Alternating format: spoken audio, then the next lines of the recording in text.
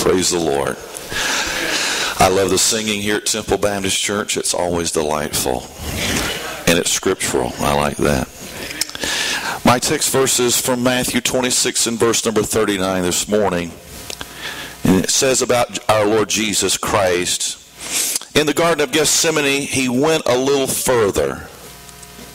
He went a little further. Disciples had fell asleep. Maybe they didn't value prayer as they should. But our Lord was a prayer warrior. And he prayed all through the night watches. He went a little farther. I love the song, In the Garden. I love that song. I come to the garden alone while the dew is still on the roses. And the voice I hear falling on mine ear, the Son of God discloses. And he walks with me, and he talks with me, and he tells me I am his own. And the joy we share as we tarry there, none other has ever known. As I said two weeks ago, I don't think that you can go to the cross experience in your life without having a Gethsemane experience. The cross experience in your life is the victory experience because Christ won the victory at the cross. Gethsemane is needed if we're going to gain the victory in our Lord Jesus Christ. I don't believe that we spend enough time in prayer, church. I just want to be honest about myself. We talk more to man than we do talking to God. God wants us to build a relationship with Him. The Apostle Paul put it this way I die daily. He met up with Jesus Christ on the Damascus Road, and he knew what it was to meet the Master and have a relationship with him. He said, I must crucify myself daily. I must mortify the deeds of this body. It's basically a spiritual metamorphosis, if you will. The old worm that spins its silk in the cocoon, it comes out looking not like a worm, not like we start out as when we begin this Christian endeavor. No, but it comes out floating out, flying over the problems, the circumstances. That's how we win the victory in our Lord Jesus Christ. We do it through prayer. We do it by tarrying still, as the disciples were told, tarry still in Jerusalem until you be endued with power from on high. We need that power today. Can I tell you that there's nothing greater than prayer? Prayer is the key element of our faith. Prayer is what changes things. There is no problem that God and prayer can't change. I believe that. In our text today, in verse number 39, it says, He went a little further. I'm reminded, reminded of this song. Father along, we'll understand it. Father along, we'll understand why. Cheer up, my brother. Live in the sunshine. We'll understand it all by and by. I love that old song. The next time you feel like giving up and giving into this old sinful world and throwing in the towel, whatever, you ever get there, Christian? Remember, the Lord went all the way to Calvary for you by going a little further. I want to speak on the subject this morning. He went a little farther. He went a little farther. I will say, first of all, today, when the pressure was on, he went a little farther. This is when you ought to pray more when the pressure is on. In your busiest, most hectic, hardest, uh, most terrible day that you have, and the, the most terrible experiences you have on this earth, and yes, we all have them. Man that is born a few days is uh, that is born of woman is a few days and of what full of trouble. T uh, trouble with a capital T. You will have trouble. This is when you ought to pray more. I'm talking about your hardest days, your saddest days, your most ugliest experiences on life. You don't want to stay in the flesh on those days. You want to get in the spirit of the Most High God. You want to rise up above your circumstances, please. You don't want to drink of that bitter cup of suffering. I know, I don't either. But you have to go to the garden, and sometimes alone. You must go to the garden of prayer. You want to retire from your Sunday school class. I know. I have that feeling. or the, or the choir or the ensemble or, or the bus route. You, you want to give up. You want to throw in the towel. Can I tell you that those ministries that you have been involved with through the years, uh, they're there for your good. It's the best therapy there is.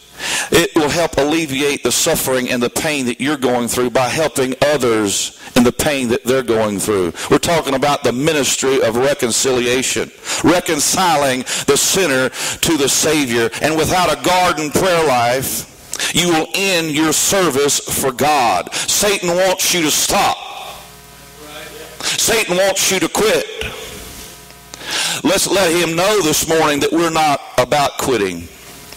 We don't have it within us because we have God in our heart. We have Jesus Christ as our Savior. Jesus did not quit. He went a little farther.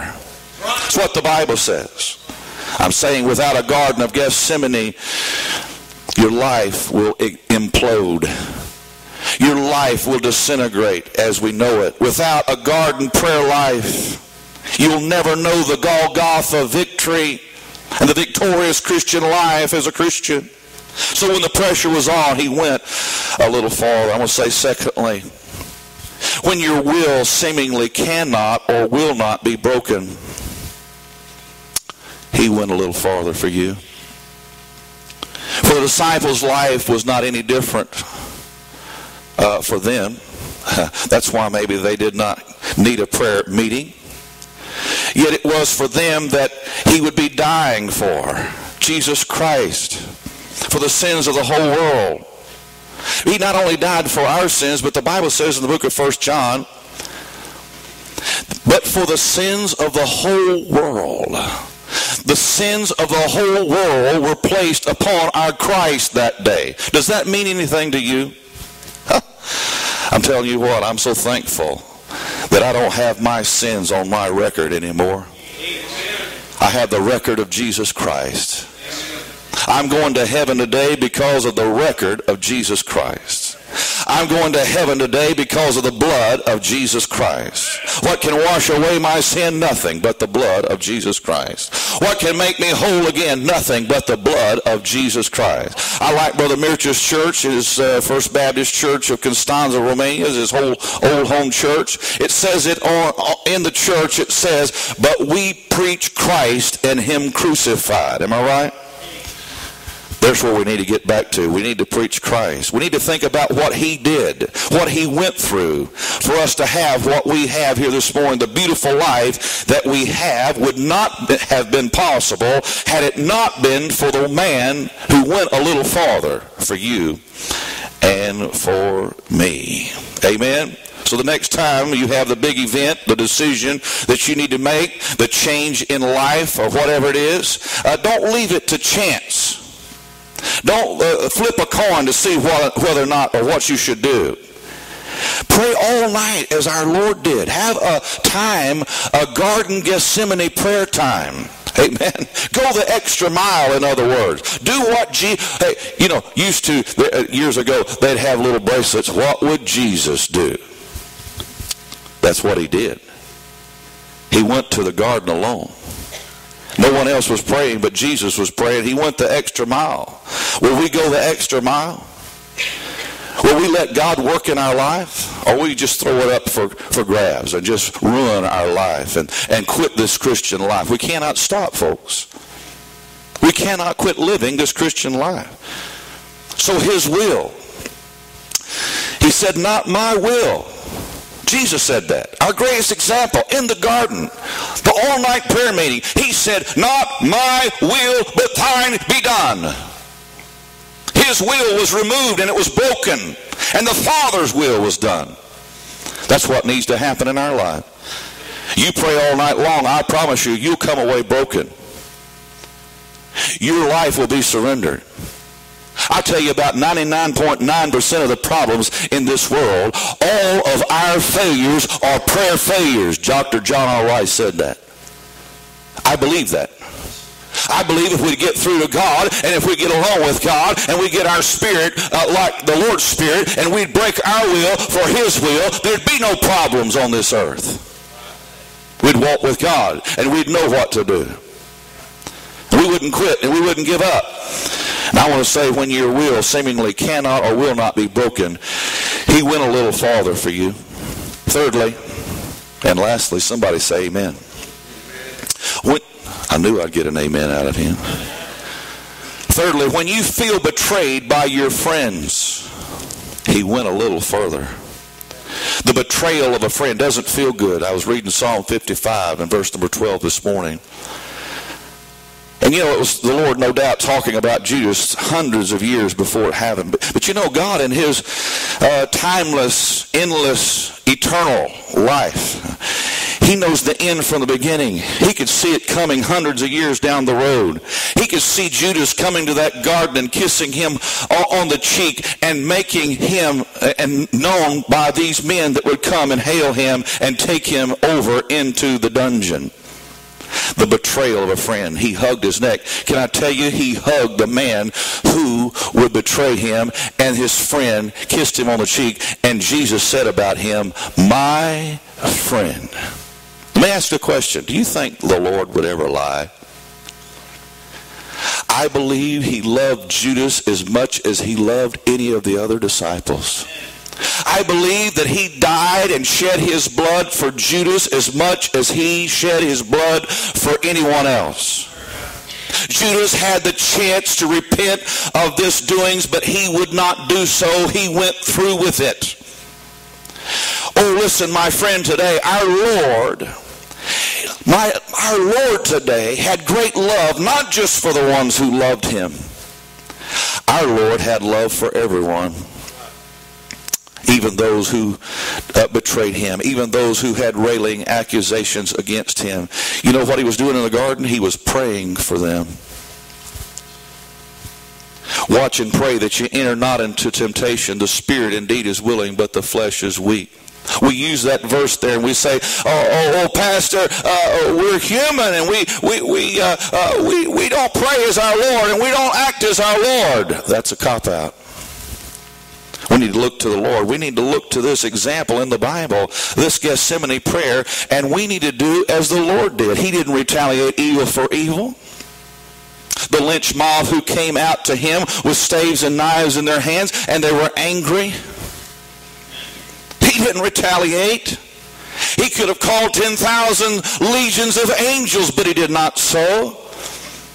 He loved those people. They asked the question, Are thou uh, the Christ? Are you Jesus? The answer, I am. So powerful when he said it, it blew those soldiers backwards. He could have left there invisibly. He could have done all manner of things, but he did not. He went a little farther that night. Why did he do that for you and I? Had he not gone to the cross, we would not have eternal life today. Had he not gone to the cross, we wouldn't have the, the, the precious salvation that we have and heaven awaiting us one day. He went a little further that night in prayer. Why? He knew those men would come. Why? Why did he go to prayer in Gethsemane? Because he knew that his humanity could not stomach what his peers would do to him that day. But he could do it with a spirit man that we have availability to today. He could do it. We can do all things through Christ, which strengtheneth us. Isn't that what the scripture says? So he had to separate the physical from the supernatural work he came to accomplish. He had to be friends with those that came to do him in, in other words. The Bible says in Proverbs 16 and 7, when a man's ways please the Lord, he maketh even his enemies to be at peace with him. Do you believe that? Peter said, now we, we, talked about Judas, but now let's talk about the rest of the disciples. Peter said, Lord, I'll never deny thee. Be careful when you say never. I'm going to just say it this way never say never. You don't know what your flesh will do. The spirit indeed is willing, but the flesh, uh, my flesh is awfully weak. How about yours? Amen. Don't, don't say that you're always going to stand for right and truth and God and holiness and righteousness and these things we know we ought to stand for. You don't know what you would do in this time. Uh, if you were there as these disciples were, you'd probably have done the same thing. Because, hey, you know what? They knew that if they hailed Jesus away and they took him away and they placed him on a cross, they knew they would probably be placed upon a cross. Because they were followers of Jesus Christ. While many that would cry, crucify him, crucify him, think about it this way. Peter, the disciple, the leader of the disciples, if you will, denied the Lord that, that day. But what about those who cried, crucify him, crucify him? The irony in all of this. Do you know that the ones that said these things would accept him, many of them, as their Savior and their Lord? Why? Because our Lord went a little farther. He died for everyone.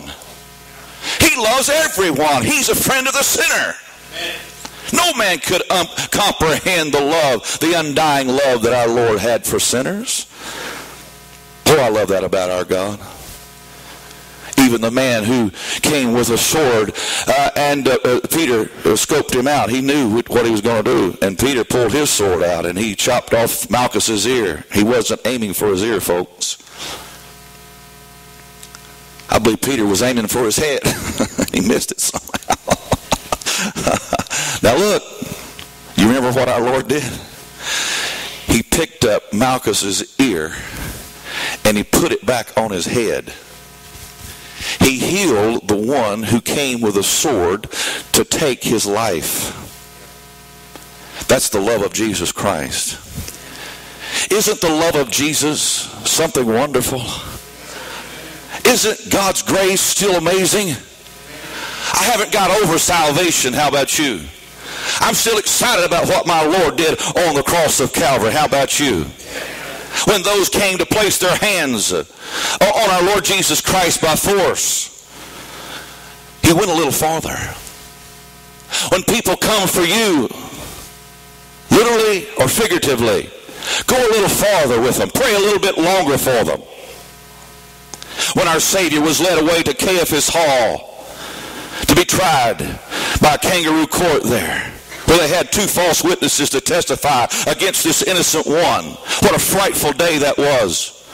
A day where, where his own people went against him and smote him with their palms and slapped him, if they would, with the open palm, and they spit upon him. Our Lord Jesus Christ, they spit spittle in his face. Yet our Lord went a little farther. When they placed a crown of thorns on his head, they went deep down into his brow. Can I tell you, blood came out of our Lord's brow that day, but our Lord just kept going. He went a little farther.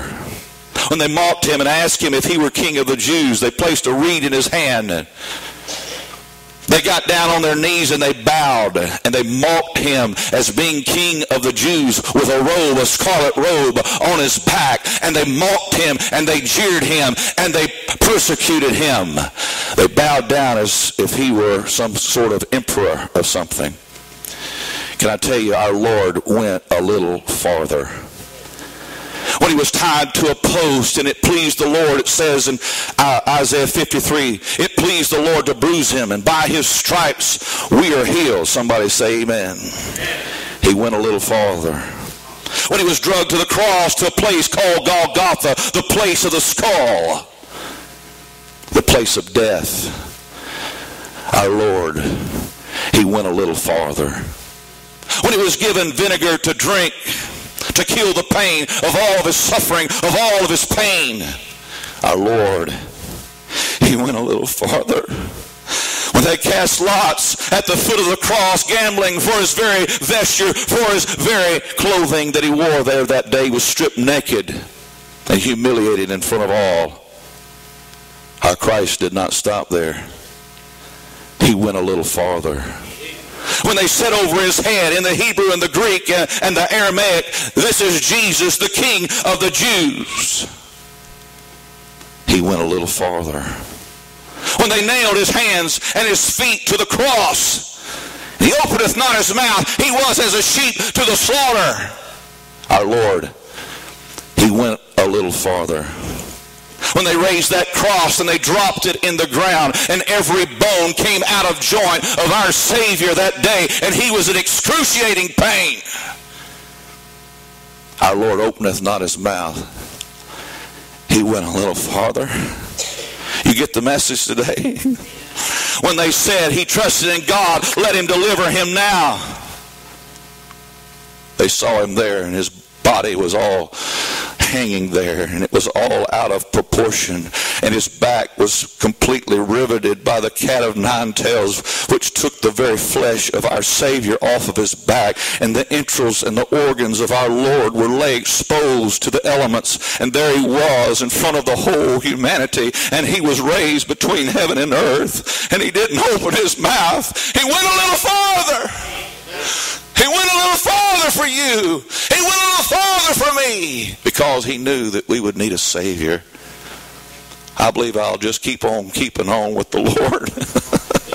when they offered him more vinegar to drink for the pain, he went a little farther when he would rise up in the arch position as he was there on the cross without strength, but yet to breathe and to say anything, the seven sayings of the cross, he would arch his body like this and he would raise himself up.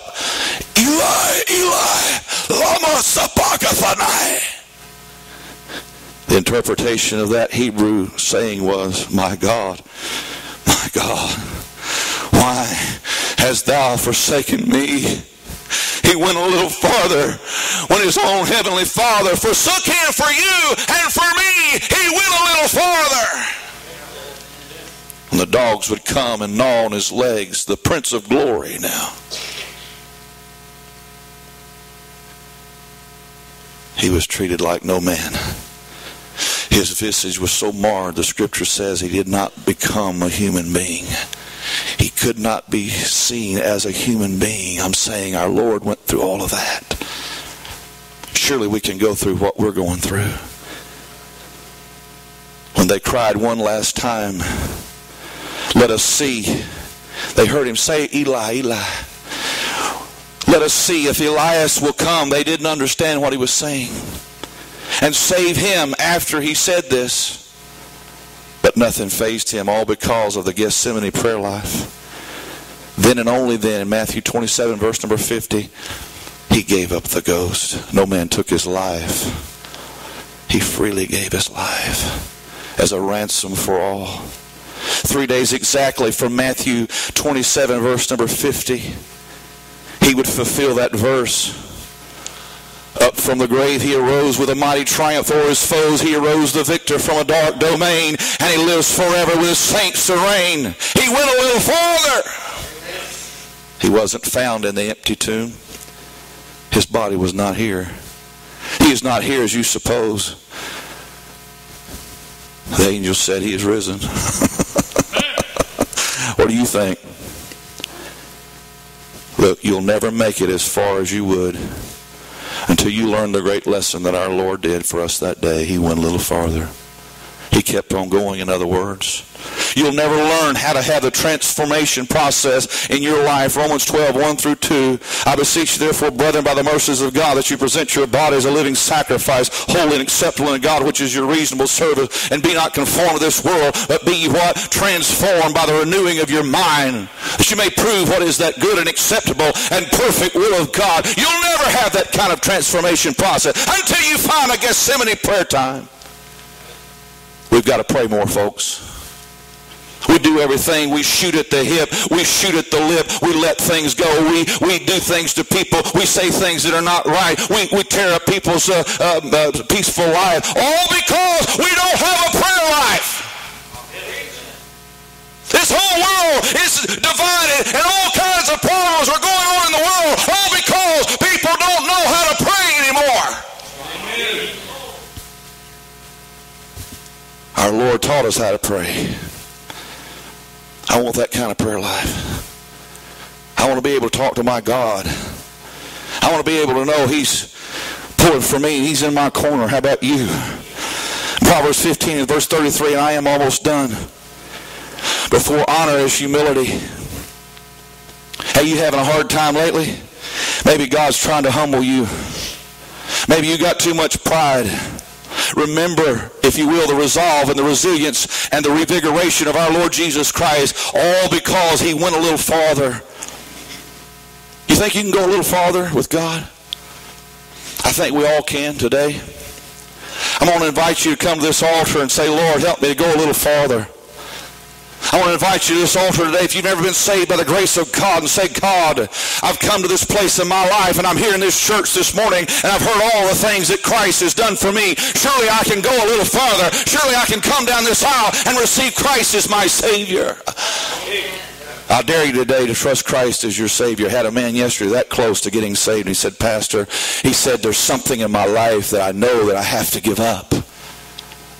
He was thinking that he had to be clean before he came to Christ. No, you come to Christ and he'll do the cleaning. We get it all mixed up. People think they have to be perfect to come to Christ. No, we go to the perfect one. He's the only perfect one. We go to him. And he's the one that helps us to continue to go forward and to go a little farther. You see, I think he can help us make it through the rest of this life, don't you? Come on. Don't wait for the invitation. What more must Jesus do for you than he's already done? I asked the man yesterday, what more must Jesus do? I'm so thankful for the man Simon the Cyrenian. He went a little farther with our Lord. He helped carry the burden of the cross on that hill called Mount Calvary that day. I want to end with this. Must Jesus bear the cross alone and all the world go free? No, there's a cross for everyone and there's a cross for me. You having a hard time? That's your cross. Bear it.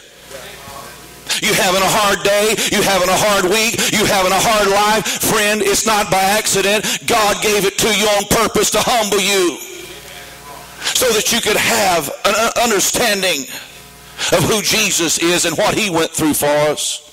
None of us have suffered like our Lord did. We need to thank him. A thankful person is a holy person. An unthankful person is an unholy person. Cling to the cross, your burden he'll bear.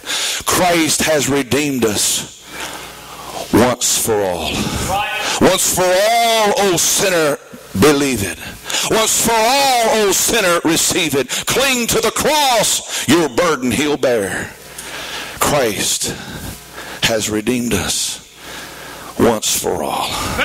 He's not coming back, my friend, to do it all over again.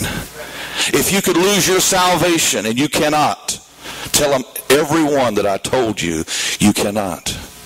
Because Hebrews chapter 6 says, if we could, it would put Christ to an open shame, meaning that he would have to come back every time that you lose it and die all over again for what you have just done.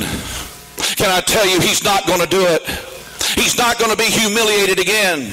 He's not going to be shamed again. He's not going to be stabbed with a spear again. He's not going to have that crown of thorns on his head again. He's not going to have that mob persecuting him again and wagging their heads and loosing their tongues on him again. God, the Prince of Glory, Jesus Christ, he came once to redeem man, once for all. And I've received him. Christ receiveth sinful men. Do you qualify this morning? Are you a sinner for all of sin and come short of the glory of God? Is it okay if I preach to one today?